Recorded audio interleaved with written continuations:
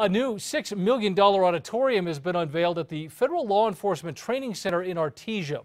The Carlsbad Current Argus reports that that auditorium can hold up to 375 people and has a 12-foot wide video wall and sound system, as well as 11 offices, a workroom, and a break room. The center serves as a law enforcement training location for dozens of federal agencies and other organizations.